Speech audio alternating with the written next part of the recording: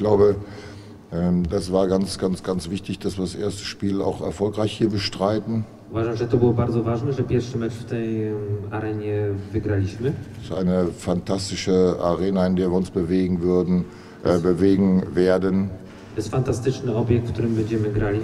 Ähm, ich möchte gerne, dass die Mannschaft ganz, ganz schnell sich hier zu Hause fühlt. Das ist ganz wichtig für die Europameisterschaft. Chciałbym, żeby drużyna się tutaj poczuła jak najszybciej, jak w domu, ponieważ jest to bardzo ważne dla Mistrzostw e, Europy. Das äh, Ergebnis äh, fällt dann nicht ganz so deutlich aus. Das hat zwei Gründe in meinen Augen.